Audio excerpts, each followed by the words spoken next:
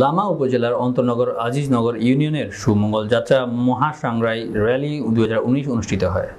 উক্ত সুমঙ্গল যাত্রা অনুষ্ঠানের র্যালির প্রধান ছিলেন বাংলাদেশ আওয়ামী লীগের আজিজনগর ইউনিয়ন শাখার সাংগঠনিক সম্পাদক বাবু উথোয়ে মার্মা। র্যালি শেষে সকলে বৌদ্ধবিহারে উপস্থিত হয়ে দেশ ও জাতির মঙ্গলের জন্য প্রার্থনা করে। উক্ত বৌদ্ধবিহারে উপস্থিত ছিলেন পাড়ার সকল মান্যগণ্য ব্যক্তিবর্গ ও উদযাপন কমিটি।